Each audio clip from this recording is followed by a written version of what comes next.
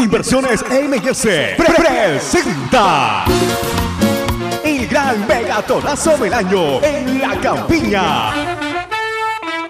Este sábado, sábado 24, el retorno triunfal del gran cacique de la Amazonía, Willy Toro y su combo.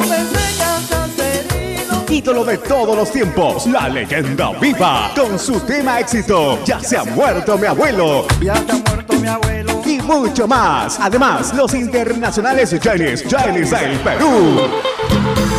Retornando de su gran gira por el norte del Perú, este sábado, sábado 24, en La Campiña, Willy Toro y su combo y los Janis del Perú será para recordar por mucho tiempo. Apoyemos a Willy Toro. Auspician Industrias Marjorie, La Casa de la Madera, Inversiones San Antonio, Torno y Soldadura da Silva, Tiendas Santos, Intrépidos, Ferretería Soto, Hospedaje 7 de junio y la promotora Papicel.